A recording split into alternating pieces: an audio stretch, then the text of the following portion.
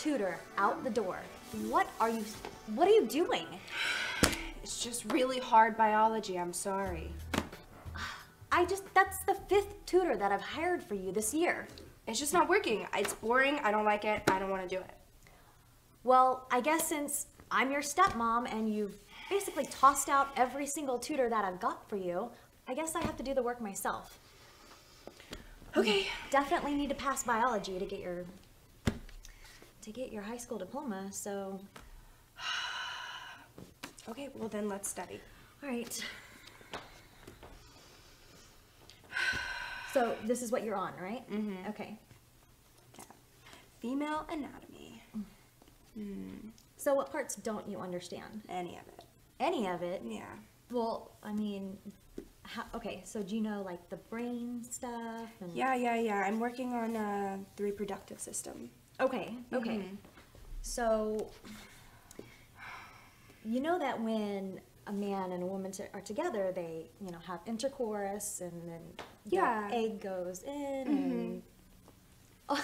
Sure. You know, I'm not a teacher, so this is gonna be just as hard for me as for you. I um, I just don't really understand how like the clitoris works or or any of that. Um. Well, Like, what what's the point? I mean, well, I guess the point is to enjoy it. To Hmm. How do you do that? um. Well, when you're with uh, a man, he will lick you or touch you, or be a man.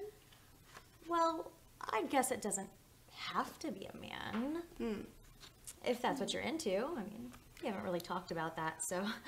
Hmm. I don't think I'm really understanding still. Mm, gosh, I'm just not a very good teacher, so Well, maybe you could just show me how it works. show you?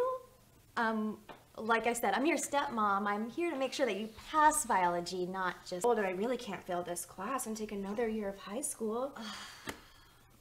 Um, well, I guess that's true. How do you want me to show you? Well, you know, just show me how how to how it feels good, right? But that's not necessarily part of biology. Well, I think I would have a better, understanding of uh, just the vagina and, and how it works if I got, you know, more of an up close, you know, third person Point of view. experience.